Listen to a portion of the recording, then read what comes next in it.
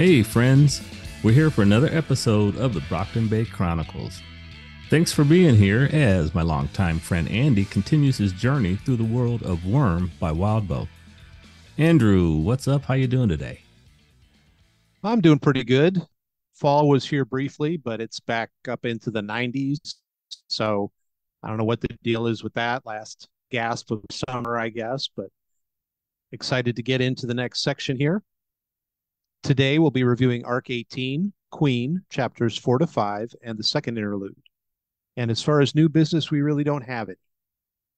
So, nothing today, no questions or comments or anything. So, we're just going to dive right on into our review. And we are picking up chapter 4.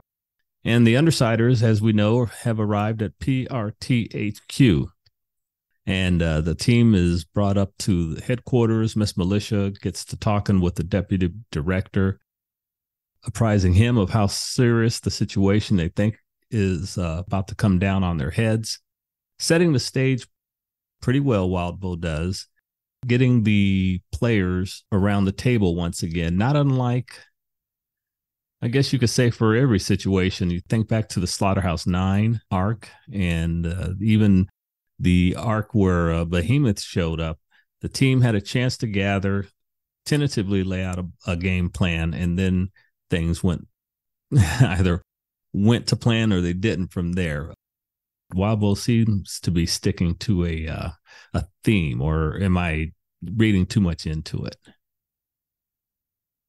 I think that's accurate and it's it's interesting that you see a level of cooperation going on that seems absent from so many things in real life.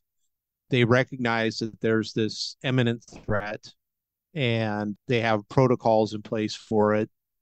And then they actually follow through on it. Now, that's not to say that it all goes smoothly, mm-hmm. but uh, at least people are willing to come to the table and recognize that something needs to be done and there needs to be cooperation. I really wish that would happen more in our world. yeah. But one thing I found really interesting, it, that different about this one was because of Skitter's blindness. Mm-hmm. and the fact that she there everybody's worried all the protectorate folks are worried about the undersiders and what they might do. She's she's also kind of bug blind. And so with all the different people talking and and stuff on screens and stuff she's really kind of limited as to what she's picking up it seems like. Yeah that was really fascinating. Uh because up until now we've been so impressed by her ability to use her swarm sense and here she has, at this moment, uh, willingly given up access to her primary weapon, one of her major senses, you know. Mm. And she, I think, at one point during the arc, uh, the either this chapter or the next one, where she does comment on it's weird to have all this sensory, this awareness of what's going on outside the building more so than what's going on inside the building it was um I don't know if I would say startling, but it was definitely a kind of a oh yeah, that's right kind of moment for me when uh when Wildbow wrote that there. Yeah, that's that's a great point. It kind of reminds me of uh some of the old like Star Trek episodes where you had the long range scanners, the mm. short range scanners, or and then something would get knocked out, you know, by a missile or a flash or whatever, and they would still be, you know, something's happening out there. We can kind of see what's going on, but uh, they couldn't see what was on the screen anymore for whatever reason. But I think Skitter handles it pretty well. Mm-hmm. I don't mm-hmm. know that everybody would be as adept at trying to maintain that they're functioning normally with with all the things that are hampering her abilities right now.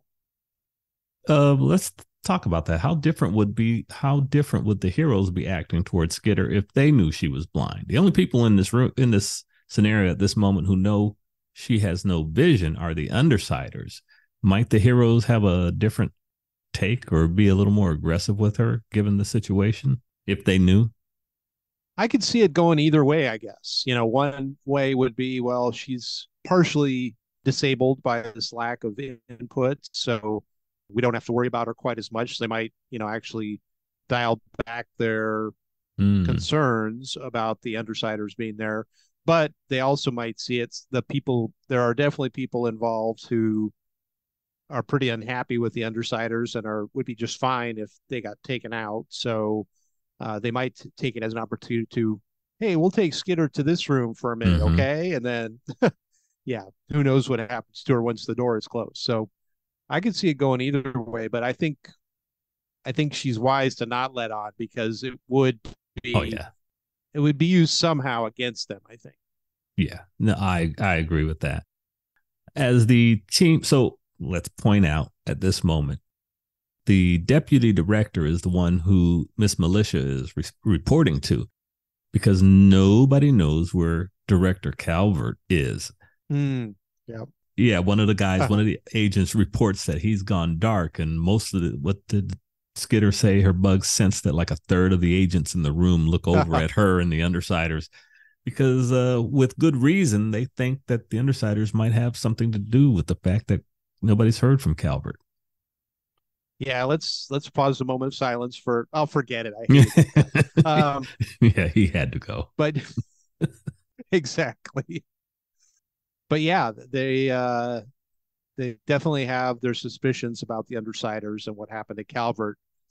It's interesting that and I guess it happens in just about any aspect of crimes or trying to solve mysteries that there's certain biases that creep in whether you like it or not and they're automatically saying well this really good guy calvert got taken down by the evil undersiders without starting to wonder well why why was he out doing what he was doing or whatever? Why was he if he was the director why was he running all over the place with and you know not trying to figure any of that out so. It's human emotion you know. Our guy's missing. Yeah. where is he? Hmm. These would be villains we have problems with they, they're probably responsible for some some kind of way. So uh, i mean but right. then again it's not like they don't the undersiders don't have a history so they've earned that uh, suspicion for sure yep as the the rest of the the team arrives the deputy director has them separated into various conference rooms or meeting rooms and so forth.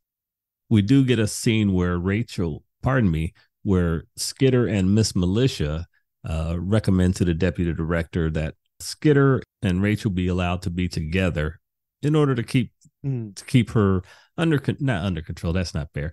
Just to make her feel more comfortable, and uh, that was a that was a wise and understandable recommendation for sure. Rachel is the definite loose cannon of the group and is easily pushed to uh, react, which we're going to see shortly. Right, but they're in this enclosed space. They're trying. They've got much bigger fish to fry, and so they're just trying to say, "Hey, she seems to kind of get along with Skitter. You know, they've got a grudging relationship on Rachel's side anyway, and uh, so let's let's try to keep the hounds at bay, pun intended. yeah. Like I said, the team does get split up into different rooms.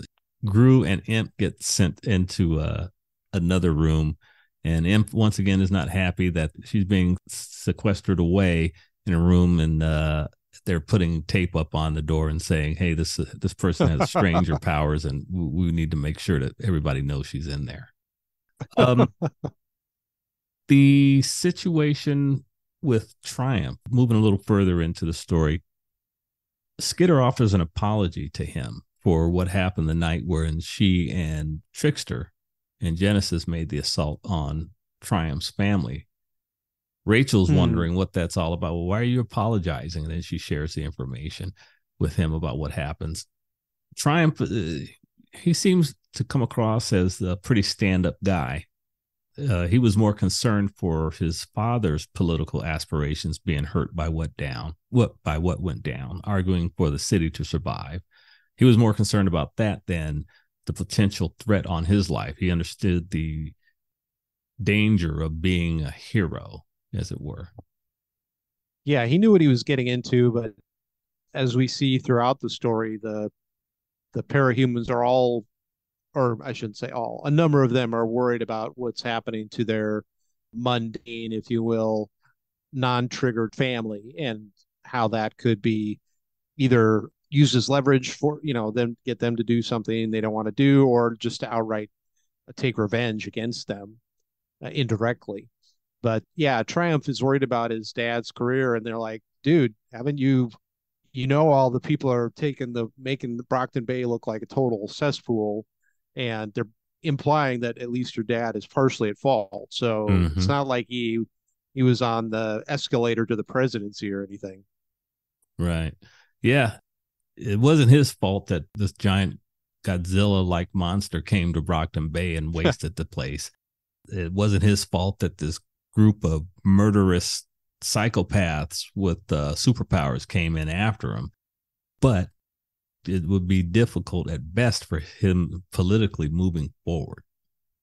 Yeah, I can just picture the HR recruiter for trying to look at who's going to be the next person on fill in the blank government position and it's like oh we see a gap on your resume what were you doing during this time and he's like well i was the mayor of bay but what? What was that? I was the mayor of brockton bay oh well it was great talking to you. You can get your uh, parking validated at the front. Thanks. See you later. Goodbye. Exactly. Yeah. That's it dude. Sorry. Moving on a little further. Tattletale engages with Triumph, and Triumph talks about or asks them, What do you villains want at this point?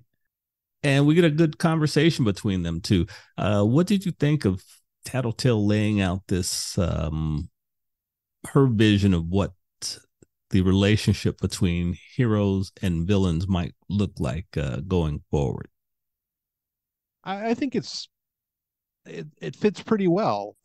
She uses the example of the yakuza, mm-hmm. and uh, I think that's pretty apt.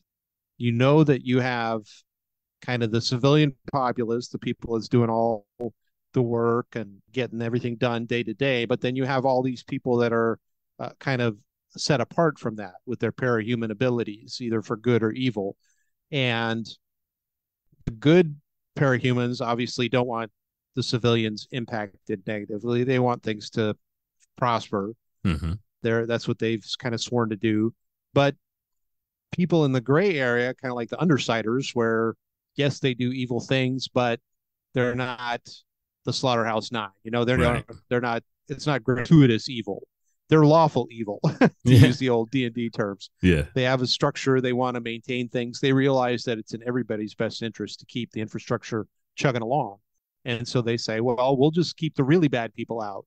And that's that's always something that uh, law enforcement is kind of hampered in, right? We want law enforcement to follow the rules, mm-hmm. but the bad people don't follow the rules. So that kind of can set folks at a disadvantage right off the bat. I was just uh, watching that movie Judge Dredd again that oh, I've yeah. seen quite a while ago, and that was one dystopian vision of what it might come to that that law enforcement officers become not only the police but judge, jury, and executioner, and they just you know stuff gets recorded and and it's just that's the only way to take care of. It. So this is kind of a happy medium almost where you've got the people that are willing to cross the line to try to keep the peace mm-hmm. and try to keep things from getting out of hand they're offering to do that so that the police can keep or the law enforcement folks the good parahumans can keep their hands clean they just need to look the other way the danger is always that once you start drawing that line in the sand and then crossing the line it gets easier and easier and yeah. uh, you can justify doing things and then who knows where it ends up so it's it's a tough balance. Miss militia comes into the conference room where skitter and the heroes and tattletale and rachel are and she talks about the uh, evaluation some of the prt thinkers have given the situation with noel. She brings in the information says this guy rates it this and another thinker rates it that. All in all they decide the the protectorate bigwigs have called this a threat level A situation. Tattletale is having none of it. And she's like, no, this is an S class situation. And then she does this great, this great read of the PRT manual, uh, the for how these decisions are made. Just boom, boom, boom, you know, rifling these facts back at Miss Militia. It's like, no, BS. This guy, when it's in this situation, it should be this, this, and this to, in order to to meet the qualifications for a class S, and you guys are completely underestimating the situation. How did you like that bit of lawyering from Miss Tattletale? That was excellent. It was it was like a political fi- figure being grilled by the journalists their their nightmare you know just having all the facts and figures that the politico didn't think they knew about and here it is they're laying it out in front of everybody. So for her to quote chapter and verse like that and really lay it out it's kind of like all right yeah this doesn't make any sense. Why aren't you right. stepping it up and saying that call in everybody? I get that there's uh suspicion and that they don't see the undersiders as credible. They're worried that they have some ulterior motive. Mm-hmm. That that's totally understandable. But those kind of rules and regulations are in place for a reason to try to take feelings and emotions out of the equation.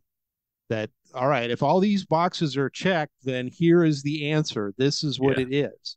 And for some reason the protector is just like nah we're going to just disregard our checklist. And it's like okay i don't get it so it seems like if anybody's got an ulterior motive it's the protectorate or uh-huh. somebody in the protectorate not not the villains so. Hold on to that thought. Okay. that may mean something. That may mean something. Okay. Because uh, it kind of gets addressed a little bit uh, when somebody important comes up in a in a little bit. Hmm. i did like this one uh, scene. After having this argument with Tattletale and Miss Militia essentially puts her foot down and said, "Look, I'm I'm done arguing with you. I got to go take care of this other situation. Got to go look at this thing." It's when Miss Militia she tells the wards, tells the guys there to don't let Tattletale bait you, don't let her get under your skin.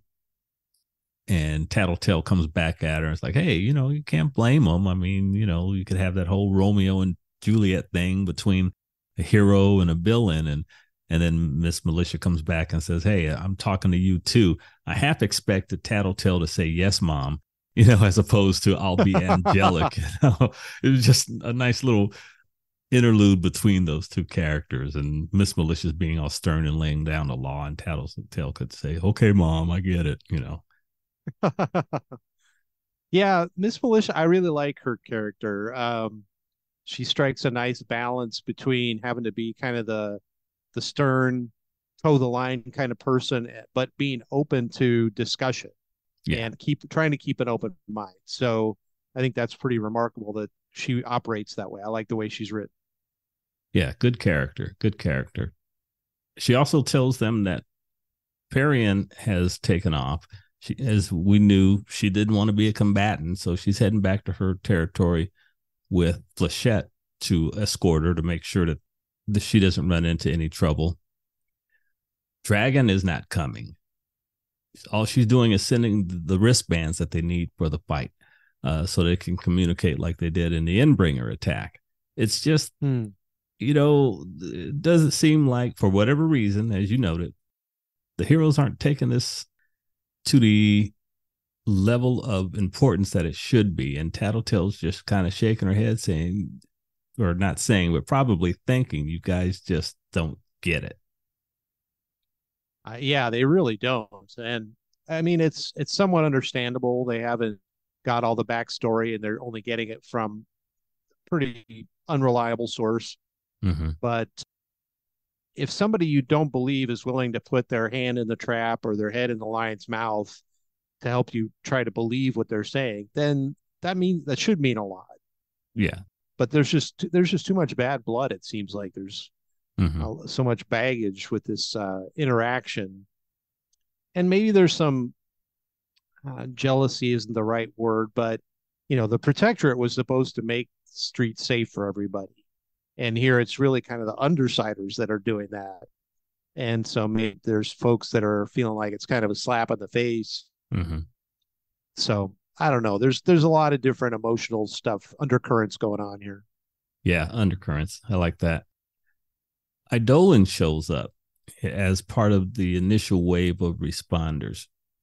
And that's where we get this whole conversation where Tattletale, we don't know how, but somehow her power has looked at him and understood that he's losing his powers. Maybe not uh, mm. to a, a, a radical degree, but over time, he's losing losing his power. We know this, if you recall, from that trip out to the oil derrick in the Cauldron office, right, where he got that yeah. booster shot from the doctor. Uh, this was pretty. this was a pretty gutsy poker move on Tattletale's case. Eidolon pulls her into a, a bubble, and the two of them talk. And we get a scene where Skitter uses her bugs to try to hear what was going on inside that cone of silence. Hmm.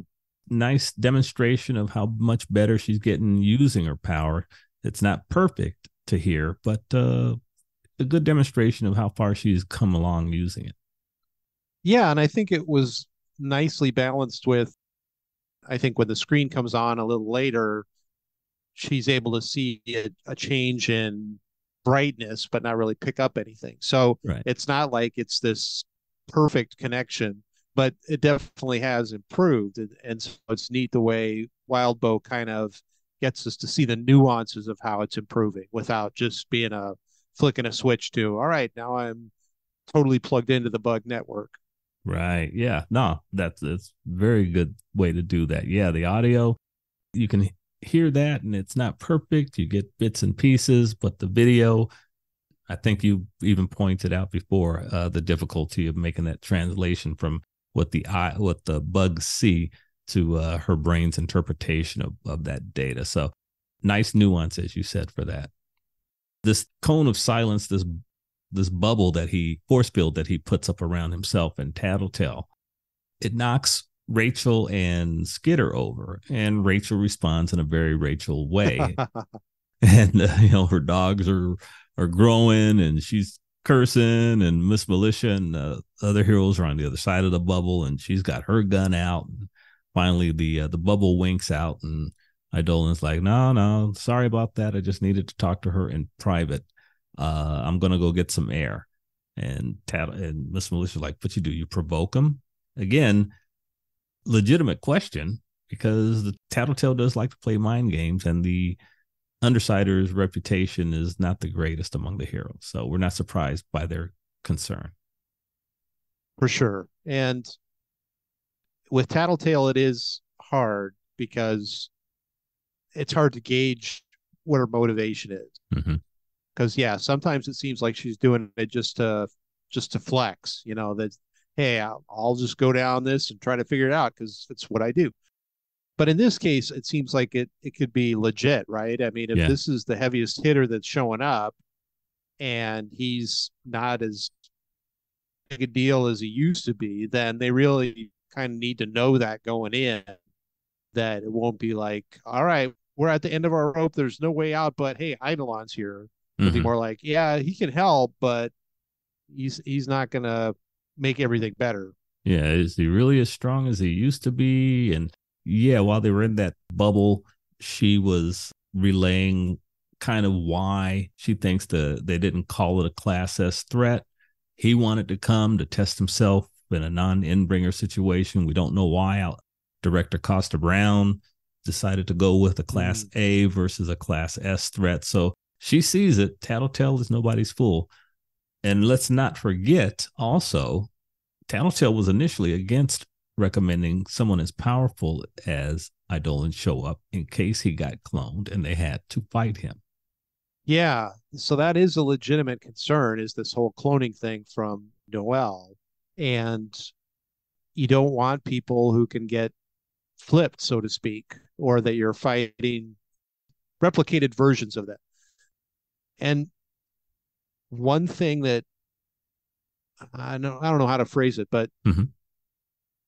we've all had those situations where we're going into something we know we're not hundred percent, but we know our capability is good enough that we can we know we can get through mm-hmm. and we can be effective. But that is pretty much assuming that it's a, a standard scenario, you know, um, like to use a sports analogy in football, you know, you're running a route, you're throwing a pass those kind of things. Mm-hmm. And you know that you can do all those things just fine. But what it doesn't account for is what if the pass is intercepted and all of a sudden you're defending instead of, you know, you got to flip the script really fast or it's a loose ball and you got to dive for it or whatever. Yeah. That's not a usual thing. And and if you're not 100%, that might not be something you can do and all of a sudden you're limiting the team and and causing problems. And so I think that might be a concern is that yeah, Eidolon will be fine, but what if his foot gets caught in a in a root or something and he can't get out and then he's cloned, you know, then we're screwed. So something that needs to be considered. Yeah. If you're looking at all the, the possibilities. So more of the heroes arrive. And then Noel phones in. Talk about your ET phone home kind of thing. Oh man. This was dark. This was extremely unnerving. She calls into PRT headquarters and talks about her desire for vengeance against the undersiders.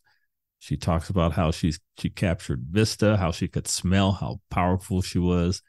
She says Vista's dead. She's cloned Vista several times. Grue, um, who's now in the room and standing behind behind Skitter, Grue tells her, uh, describes to her the scene that's playing out on the uh, the big screen that's in the, in the conference room. This was a very disturbing, not as disturbing as uh, I guess you could say the visual of Noel the first time we got it from Trickster's point of view, but was it five Noels and the sixth one ran off, or pardon me, five Vistas and a sixth one ran off to go murder her family. This was this was bad. The whole thing about it was creepy and really tends to underscore what Tattletale was trying to get across that this is something that you are underestimating. Mm-hmm.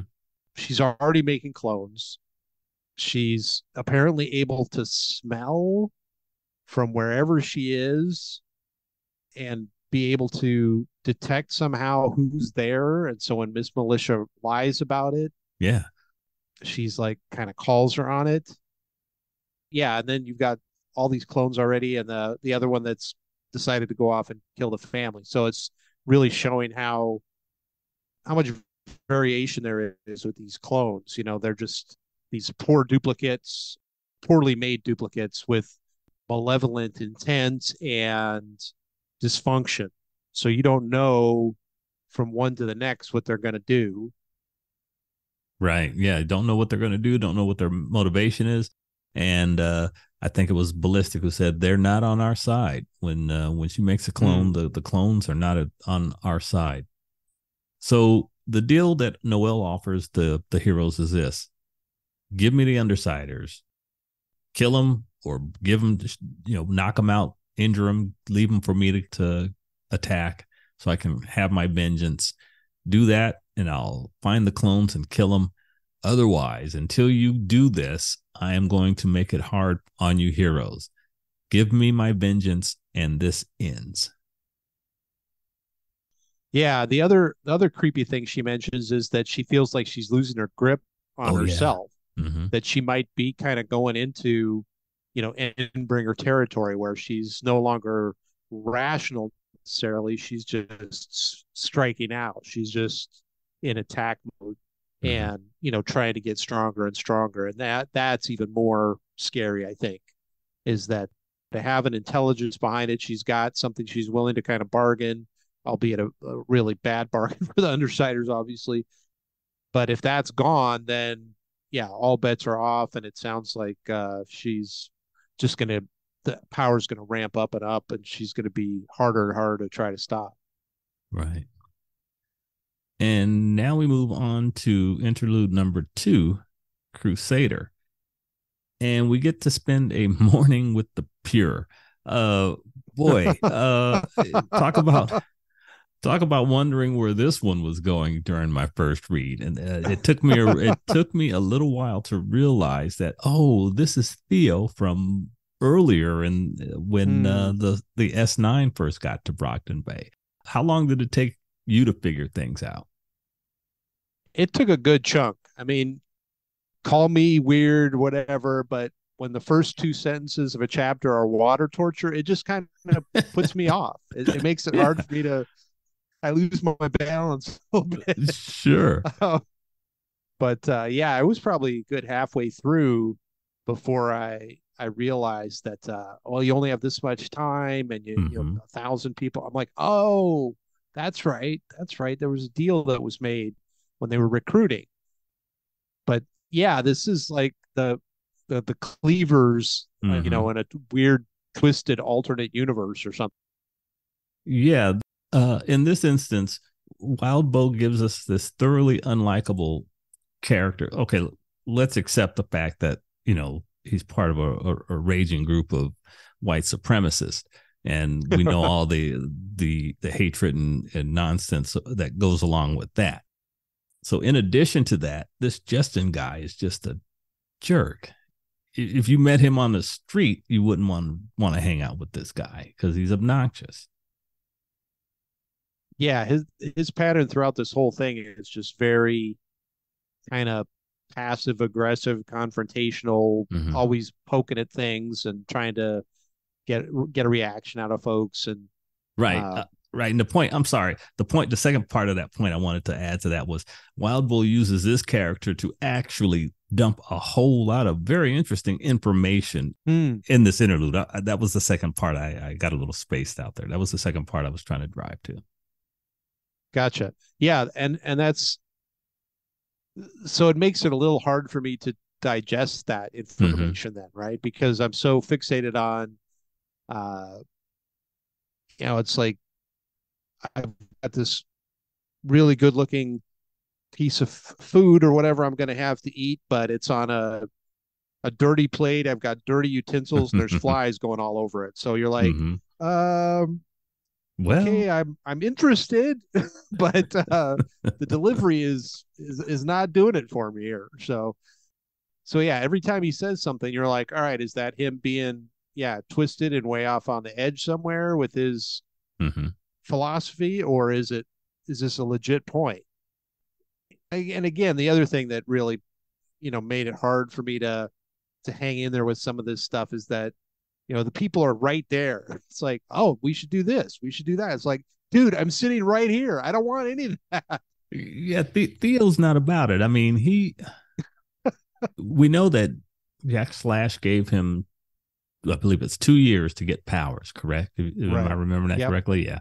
And so he in that scene back in the back in brockton bay he mm-hmm. saved his stepsister, his baby stepsister, Aster and saved Kayden from Jack cutting them both down. And so Kayden, uh, Purity, she uh, has taken him in and is on a quest to help him get powers. And meanwhile, as you said, we have breakfast with the the cleavers and you know, okay, yeah, the, you go to the closet and hanging up in the closet are a bunch of white sheets and pointy hats. But um, moving on, they decide to go to on a on a fact finding mission. Kayden, Justin, and Theo go to Harvard. They're initially going to meet up or want to meet and to talk with a professor, but he's not there. But his TA is this poor guy named Peter. Peter does dump a whole lot of useful information. that is pretty fascinating. And I wanted to find out how you like that. How did that information dump help inform your thoughts on the story thus far? Did it, you glean anything new? Did it get any more uh, your uh, brain cells turning around? Definitely. Yeah. This is, I think if I lived in this world, this is the kind of work I would want to be doing would be trying to if I wasn't in that line of work, it'd be a hobby where I'd be like the people who track all the satellites and have a database and oh sure can tell you when stuff's going to be up. I'd be like, all right, so here's the numbers that we heard this last week. We had two new tinkers, mm-hmm. one new master, you know, and I'd be trying to detect patterns, you know, and doing all the data mining and everything. So I really got into this, as you can tell. I, I definitely nerded out on it. But um, it's interesting how they talk about how the and it's stuff we've talked about too, just the different variables that are happen around a trigger event mm-hmm. and how how the interaction is really hard to tease out and there seems to be patterns there are things that they're discovering but it's not there's no guarantees there's all sorts of different things that can come can come up. And i like the kind of analogy they use where it's like using a a screwdriver to try to pry nails out of something you know? Uh-huh. it's like yeah it'll work for that but that's not what it was designed to do. So if, if somebody's hoping for a certain kind of power but they're the power they got dealt isn't really that there's some kind of interaction between their desire and the real thing and they come out sort of that way but skewed and possibly twisted. And so yeah there was a lot of really interesting discussion around this. I really enjoyed this interlude a lot aside from the the white supremacist part well yeah that yeah. exactly yeah. Uh, oh that yeah. to give that an adequate amount of discussion because it is part of the story justin is a believer. Kayden if you recall, she was nominally on board with uh, her husband's uh, belief in the the whole white supremacy thing. Theo doesn't come across as really being into it at all. We get that brief discussion where Justin is wondering why, I guess there's another organization that they're affiliated with, why they were leaving Night and Fog underneath Purity's umbrella and there was a whole discussion about mm. that. So th- there's there's some politics as to what's going on, why Purity hasn't lost them. Is it better to have them with her or not? And like I said, Purity's not necessarily down for the struggle as deeply as Justin is. Uh, I bring all that up just to flesh out the the character a little more fully. Gotcha. Yeah, and that's that's a great point, and and there, there are definitely parallels with that whole movement. Not that I'm, you know, a scholar by any means, but generally you have the folks that are like, there's there's a spectrum of what quote unquote purity is. You know, it's uh, it's switching to like the the Russian side of that. You know, if you were from a certain part of Russia, you weren't considered as pure Russian as the folks from like the main part of Russia. Mm-hmm. And so you know, if you were trying to get through the Communist Party and rise in the ranks, you had to overcome that impediment, you know, that you were Georgian, for instance, mm. rather than mainline Russian. And so there's always been this kind of you see it in caste systems, for instance, and you know, you saw it in in Mexico and in you know people in the indigenous people in our country before we mm-hmm. arrived. You know, if you were captured by another tribe and then you had kids in that tribe, then those kids were never fully accepted the way somebody who would both parents were from the tribe originally, you know, and sure. so it's just kind of a human nature thing. You see it a lot, but with this this kind of group, it's it's definitely not a matter of all right, we don't accept you as full blooded or we yeah. don't accept, we don't tolerate you as much. It's like, no, we want to wipe you out because you're polluting things. Yeah. And it's just, yeah, it's so hard to, to grasp. But, yeah. uh, it was, but it's, it was necessary for, I shouldn't say necessary. It was interesting again, uh, repeating myself slightly, that we had to see this interlude through the eyes of a thoroughly unlikable character in order to get some pretty uh, vital information. Um, you know, okay, Wildbow, I, I see you. I mean, yeah, it was it was it was effective. It, it, it was strong enough of an interlude to keep my interest once we got to the school and Peter was uh, relaying this this juicy information on triggers. Yeah, and I, I have to commend Wildbow. I mean, as a writer, I don't think I would want to write about these kind of folks. Mm-hmm. But I think it makes the world more three dimensional to recognize that you have these these messed up fringe elements out there and they're probably just as likely to get powers as uh, somebody who's living in Australia or sure you know somebody in Malaysia or whatever. So why wouldn't there be people that were then like, oh well, I got this because I'm pure, so let me find mm-hmm. other people that are like me, and then we can try to get rid of all the unpure people. Yeah. So I, I again, I commend Wildbow for being able to write it this way because I don't think I could stomach it. yeah, as I said, Peter's given a pretty good information dump. And he covers all kinds of interesting theories on powers, who gets them. He talks about how uh, governments are doing what they do, trying to sure. improve their standard, uh, their ability to generate parahumans. Obviously, if you're a government and you can make parahumans at a whim, then you're going to flaunt that over other nations of the world. Hmm. Yeah, and I like that Peter said that based on their data, it's harder when you're trying to provoke the trigger event. Mm-hmm. You know that it's more likely to happen in a, a, surprise thing, or when I think he said used the term earlier, the participants are in the dark, so they don't know that their their trigger is trying to be provoked or stimulated. And he goes into details on, on why they think that might be, you know, and and of course, Justin jumps on, oh, it's predestined. Mm-hmm. So then then we get back to the purity thing. You know, I'm chosen. This is uh this is something that's all about the people that didn't get it. Well, you are the outcasts. Mm-hmm. And and it's like, dude, let it go. It's not he's not a believer, okay? He's one of your one of your little uh cadre people there. So it takes Peter, he doesn't actually ever realize who it is. We should um, point out the fact that Justin and uh, Kayden and Theo, you know, they're not in costume. They've gone on to the Harvard campus in civilian garb, gone to this Professor Wysocki's office just to get some information. So they're not, you know, Purity, the supervillain, didn't fly up into the office carrying her baby girl. Uh, it was only much later, as we're moving further into the uh, into the interlude, where they actually point out that Theo is the son of Kaiser, and then, pardon me, that yeah, Theo's the son of Kaiser, and then Peter finally puts it all together mm. and is suitably frightened. Yeah, that I mean, he's he's in full on TA mode, right? He's just mm-hmm.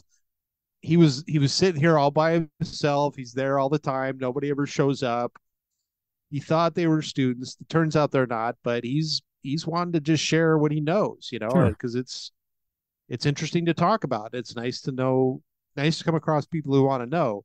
But then, yeah, he starts having just, you know, he at one point he says like, "Are you talking about starving the guy?" And they're like, "No, no, we're we're speculating." But yeah, then when it clicks, then he's like, "Oh crap." Yeah. Maybe I shouldn't have spilled all this information to these people. Yeah, yeah. Uh, we do get what I'm I'm pretty sure uh, is Kayden's trigger event, where uh, Justin's thinking about this um, item mm. he'd heard from the people in the Empire, the Empire's grapevine, about a 16 year old girl driving for the first time, has an accident, rolls down a hill, no one sees her for days, and then she triggers. And he looks over at Kayden, and Kayden nods her head basically because the light goes on for Justin. It's like, ah, this is mm. Purity's origin story. She nods at him, and they both kind of uh, silently agree that this Peter does know what he's talking about. The cops are showing up, and that's where Justin starts to put the hammer down on on Peter. It's like, okay, so yeah, you know who we are, you know we mean business we're running out of time. You got five minutes to tell me what I want to know about giving this kid a trigger event, or I'm going to kill you. No pressure. no course, pressure, bro. Yeah. And Peter goes back to the thing that any teacher would say you've got to take the class. You know, I can't pump it all into your head in five minutes. What are you thinking?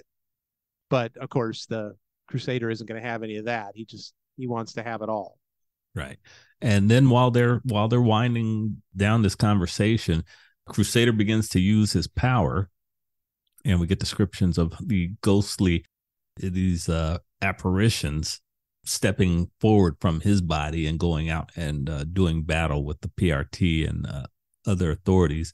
while they continue while he and Kayden continue the conversation with uh, with Peter. Yeah, and it's interesting that Peter focuses on asking how Kaiser and Allfather had their triggers, right? And that there might be some kind of link. Uh, you know that there were similarities between All Father's power and Kaiser's power, mm-hmm. and so third generation it seems to continue the trend, if you will, and he's trying to get at well what what could that be? And then maybe even stipulating that it's not a physical power that they had but it was mental. and, and that physical events tend to cause physical powers. Mental events tend to cause mental powers. And so yeah i thought that was an interesting tidbit there too yeah and meanwhile when uh, justin is doing some some self-examination we find out this dirtbag tried to pull the plug on his sister. Yeah. Yeah, he was uh he was quite the specimen even before he got his powers, you know. Sometimes you think that the the trigger events and stuff make people bad or or push them over the edge, but it seems like he was pretty much there before he got he got his powers. Yeah, he was broken going into this whole thing. Yeah. So as we're heading toward the end of the interlude, the end of the interlude, something that Peter says switches on a light switch for Justin, and he he figures out what he takes a guess at what Theo actually needs. It was the discussion about mm. how um what was it? Uh, the people who trigger don't have a good support system. Thank you. Usually, yes, thank you very much did that spark anything for you with a uh, certain uh, certain bespeckled dark haired girl in Brockton Bay?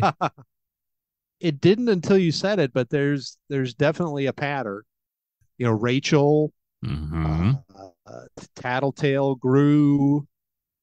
They're all folks that feel like they're not. They've got to do it on their own, or they're not. They're not going to be able to uh, count on on others and so they and you know it's it becomes like a chicken and egg thing you know does mm-hmm. does the power come because of that realization or is it kind of a predestined thing where there are people who are just dealt a bad hand and that kind of primes them for this but yeah justin just latches onto that says all right we're leaving right and uh, that switch had to be the realization of the role abandonment played or could possibly play in getting Theo his power. Because earlier in the interlude, it was when Kayden had said that if he didn't get powers, they'd fight the nine. And right. unwittingly being a backstop for Theo. A uh, well, if push comes to shove, we'll do it. And Justin appears to have realized no, we have to abandon this kid. And something, he has a greater likelihood of having a trigger event if he's abandoned. And we'll see. We're really actually doing him some good. Yeah, it's, uh, I, I can see kind of the logic, but harkening back to what Peter said earlier, you can't kind of provoke the event or it seems like it doesn't go well. Mm-hmm. You know, you've got plenty of examples where traumatic things happened and then people didn't come out of it really well uh, with their powers. And so, and, you know, the whole cauldron thing was about all right, when you do this, when you get the potion, you're going to feel horrible and you need to do your best not to freak out about it. You need yeah. to try to go with the flow because the more you fight it, the more likely bad things are going to happen. And so it's it makes sense. I, I, can connect the dots, but I don't know that it's necessarily uh I don't know that it's yeah, it, it's got a, a pretty high risk, I think. Yeah. All right. And with that, we will be moving on to the final chapter that we're going to cover in this episode, chapter five. We're picking up back immediately after the call from Noelle at PRTHQ. Tattletale is the first one to speak and uh, points out that this really wasn't the worst thing that could happen, and then talks about what could have, how things could have been worse, and if Noelle had gone dark after the undersiders had come to the the authorities, then their credibility with the authorities would have gone through the floor, heading toward magma. Let's see here. She also talks about how Noelle she can produce more vistas at any time. She's highly mobile in addition to having vistas power. And again, you PRT people may end up regretting not calling this a class S threat. Yeah, and, and apparently Tattletale picked up on some stuff too, you know, that Noelle said that Vista was dead, but she doesn't believe that. Right. And so that they're, yeah, like you said, she can create more vistas.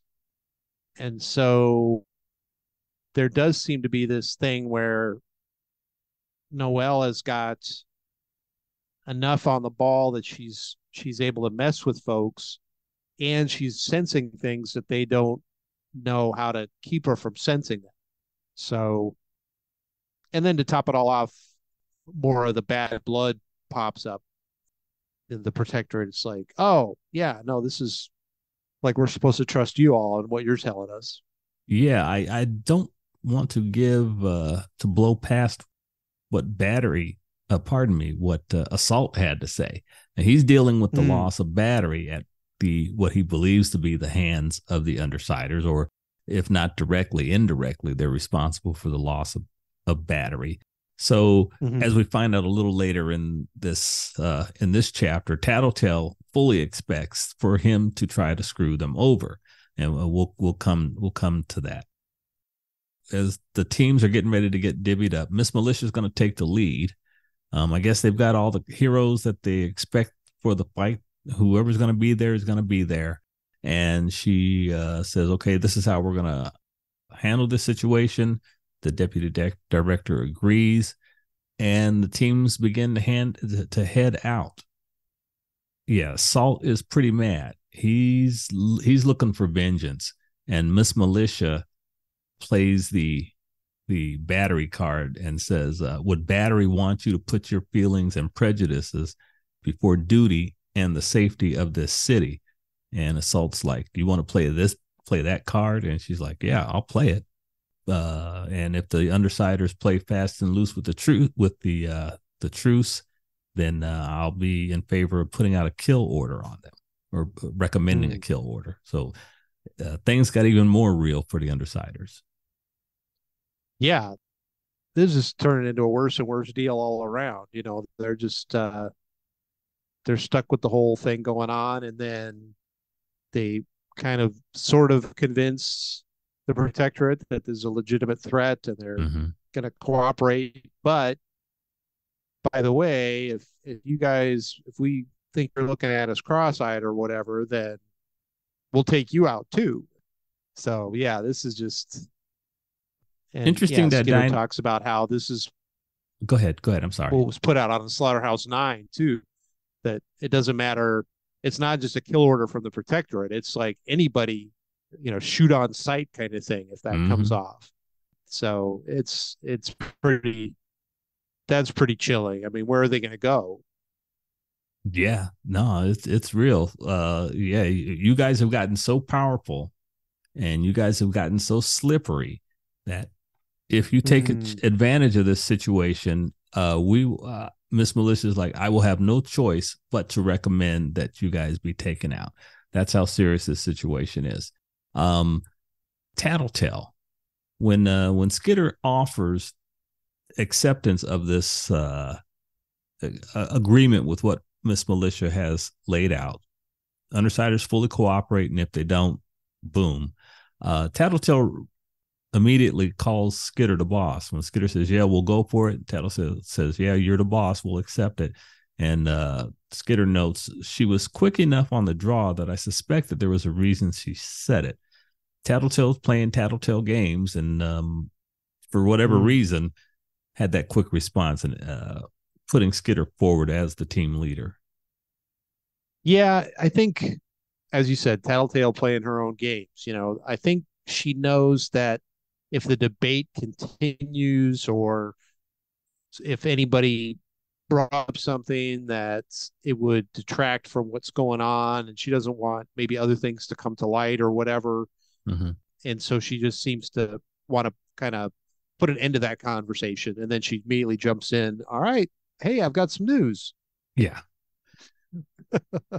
so um let's see here. Yeah, this is not dead. Noelle can make more Vistas whenever she wants to. Uh question was how do you hold on to Vista? Good question, but I don't you know, Tattletale still she doesn't know everything about Noelle, so she's giving her best guess that her power will uh, will help her uh, put forth. So the meeting winds down Miss Militia details a or dispatches the Chicago wards with the Undersiders. So they've got a group of young heroes with them. How did you like that scene uh, Mhm.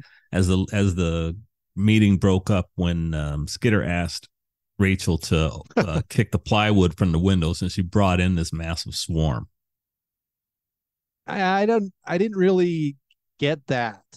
It seemed like since she had the swarm outside, she could have just waited till they got outside.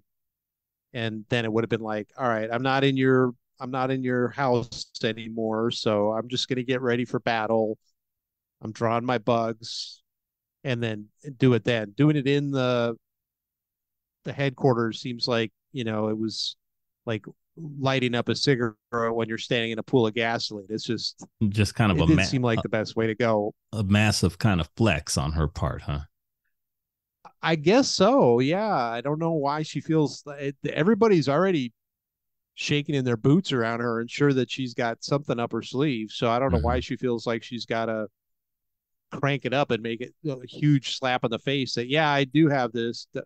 Don't forget. It's like we didn't forget. We're we're peeing our pants over here that we have to partner up with you in the first place. So Does this speak to where Skitter, the villain, aka Taylor Hebert, where her mind has evolved? I mean, in these many months of villainy, um, time and time again, she's felt the need to how to phrase this, make sure people uh, knew how powerful she was, or how she better way to phrase it, how she presented herself was important to her. You think back to that scene with Charlotte in her lair. Even when she came back from being beat up with the fight with Mannequin, she was worried about how she presented herself to her underlings. And in this situation, we've got this new group of wards who we haven't seen them before, they haven't seen us, and I've got to flex and make sure they know who the undersiders are, kind of thing. Am uh, am I drawing unnecessarily unnecessary parallels here? No, I, I think that's a legit parallel. Uh, I did overlook something though as I'm reading back through this, Mhm. and you know, she's sitting there, and we had commented on how she's very limited with the few bugs she has, and all these people flowing around the room and trying Yeah. to keep track of things, and and now she's got a whole new group of people, and she's about to go into this fight against a baby Endbringer kind of situation, and she just wants to know what's going on. And so it says, you know, they were watching us. I couldn't even guess at their expressions without the Yeah. ability to see or feel things with my bugs.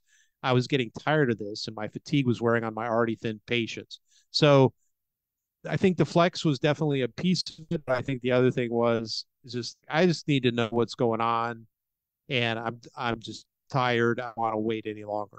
So A little, I little of both. A little stand both. by huh? my statement that it was yeah a little of both, but also a little reckless on her part. But that's again probably because she's tired. So hmm Yeah. The wards, these uh, group of Chicago wards. Tell me, uh, I mean, we get the information from Skitter about this group. Uh, interesting sounding group. Yeah. I mean, Ray Manser, Wanton. yeah. I, I thought it was funny that it was there was Tecton and Wonton, um, and I was wondering is, is is the last guy going to be Anton? I don't know, you know. I've seen a pattern here, but it, I'm sure.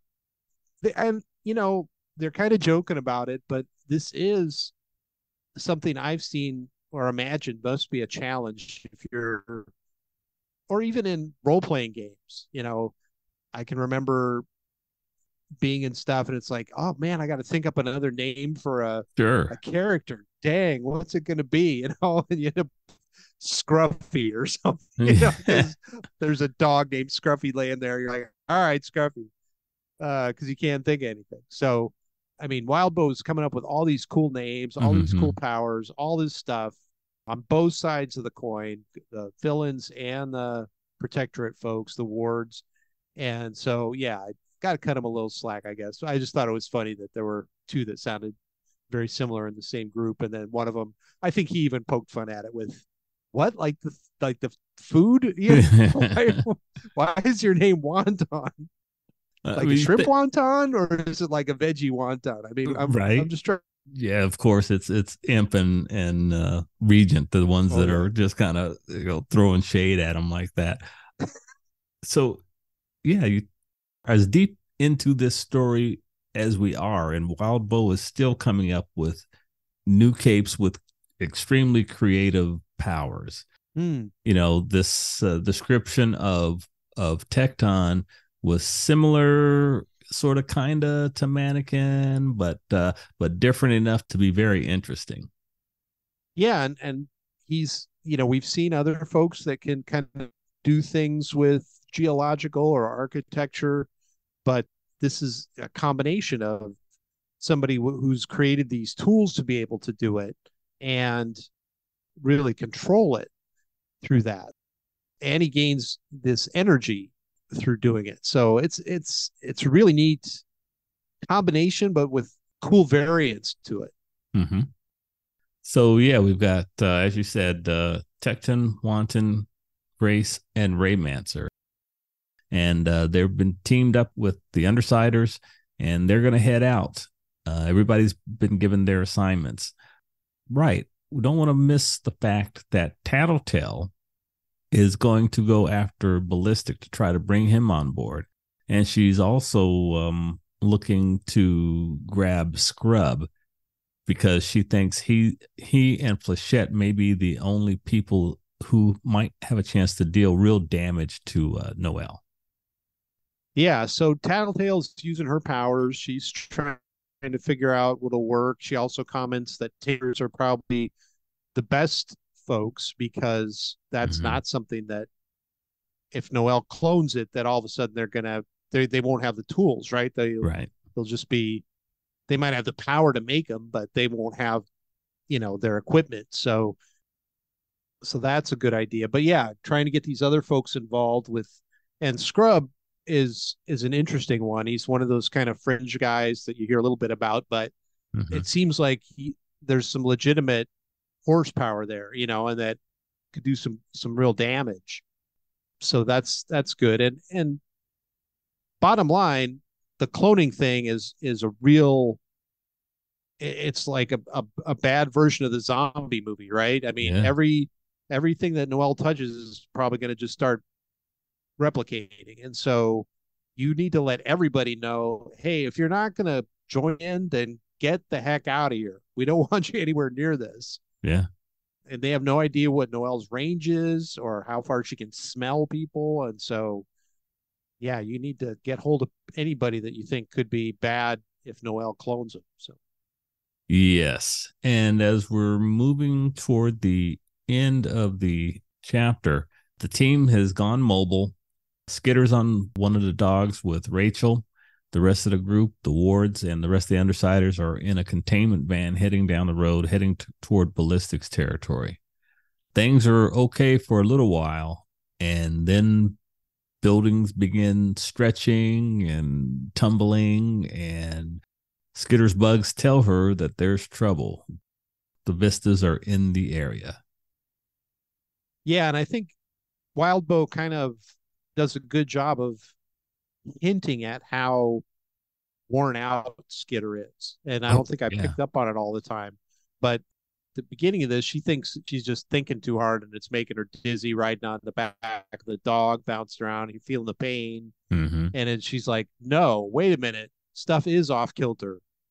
oh, that's and that dawns on her then that it's Vista. And so I think we get another point there where she realizes that. And then when she goes looking for him with her powers, mm-hmm. she finds that there's one on a rooftop a block ahead, but not in costume. And she realizes, oh, dummy, I knew already that they weren't in costume. Grue had told me that when he saw it on the screen. So why was I looking for him to be in costume? Yeah. Because you're right. She's but been going. that she's been i'm sorry to interrupt she's she's been going and, and wildbow pointed that out yeah that it's only been 24 hours since the battle to free um to free dinah has come to a conclusion. Right and she had severe smoke inhalation. She's got busted ribs probably. She's been blinded from the stuff with the debate. And mm-hmm. so yeah she's running on like three out of eight cylinders. Yeah. And and Wild wildbow doesn't keep like just saying it, you know, oh, she was hampered or whatever. He he like leaves these kind of hints that say, oh, I didn't pick up on that, or and then as a reader, you're kind of like, oh, that's right. Mm-hmm. That's cool. She, I like the way he did that. No, absolutely, hundred percent. Yeah, and she is definitely not at hundred percent. And he's got this clever way of, as you said, it's, it's not beating us over the head with it, but he puts it in in a way that it's like, oh jesus that's right she is hurt from this and oh my god yeah she hasn't had a chance to sleep. So yeah it's a it's a good way of pointing out that she is not at her best going into a pretty what could be a a, a pretty brutal fight. Yeah and there's another example here where where rachel hits the van and it seems like skitter is thinking at first, is Rachel mad at the people in the van for some reason? What's going on? And then she realizes, no, Rachel was trying to get the van out of the way mm-hmm. because the building was coming down. And if they had proceeded, they wouldn't have maybe got hit by the building, but they would have got hit a lot harder by the debris and stuff. Yeah. And uh, as we're coming toward the end, uh, Skitter begins to make a, a horrific realization. Noelle is deploying or employing the same kind of fight strategy mm. that Skitter does. And Skitter realizes that she's better at it than I am. She's faster, her senses reach further. It's it's a really bad situation that she finds herself in. I believe for the first time in her costume career, finding herself on the other side of a ranged attacker with multiple minions who and is physically you know stronger and uh, you know kind of a mutant. So um, welcome to it. It's not exactly a swarm of bugs descending on your skitter but uh, someone who's effective at using minions in battle maybe more even uh, a little more so than you more effective. Yeah this is i mean it i see it as a good and a bad thing. So mm-hmm. it's bad because skitter knows what all the advantages of our, of this are and because Noelle is using human minions that she seems to be there's there's none of the translation that needs to occur that Skitter has to do with bugs. Mm-hmm. She's getting inputs that are straight. It's a pair of human eyes at human eye level, seeing human eye things. And so who knows how much of that is getting through Noelle but if yeah, it could be really scary if she's able to how connected she is to all this. Now, I think it's interesting though that just in the interlude, mm-hmm. Justin was creating minions that couldn't be cloned. And so if they can somehow work Justin into this mm. and get him to combat the swarm, then it's swarm on swarm without, you know, it, it could be a good good countermeasure. But the good side of it from Skitter is that because of the way her brain works, anybody can out the weaknesses and the gaps in a swarm type attack, it would be her as the queen of the swarm. Right. Gotcha. All right. And that brings us to the end of the chapter. Looks like we're done for this episode. Any final, pardon me, any final thoughts there, bud? Anything to add? Um, I was left wondering about Dragon mm-hmm. and mm-hmm why why there isn't more there.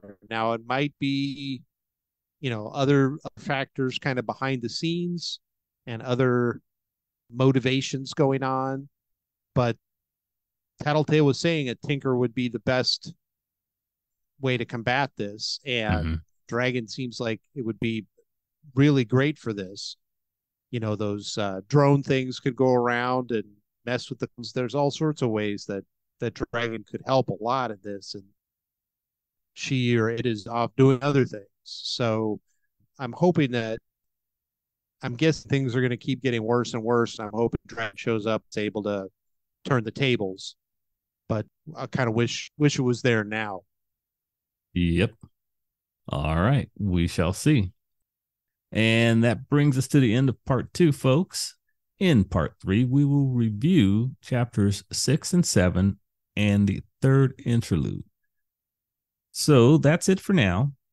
We're going to pack it in. We appreciate you being here, spending time with us as always. We hope you will return for part three as Andy moves further and further into this insane arc. And uh, who knows what's going to happen by the time we get to the end. So thanks for being here, folks. And until next time, take care. Really excited to, to learn more about what these theories are and uh, see what might happen. And yeah, it's going to be swarm on swarm in Brockton Bay. So we'll see what happens. And I'm really looking forward to finishing off the rest of this arc. Thanks for joining us on this journey. Until next time, bye bye. Thanks for joining us in this podcast. We hope you'll like, comment, and subscribe. If not, thanks for stopping by anyway, and we hope you return. Music is by the band Why Why Not from their self titled debut CD. You can find more information in the link down below. Catch you later.